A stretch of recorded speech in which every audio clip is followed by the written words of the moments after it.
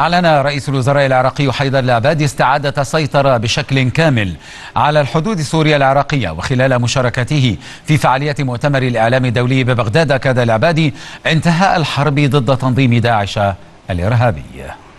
بأن قواتنا خلال الساعة الأخيرة اليوم انتهت من تطهير كامل جزيرة نينوى والأنباط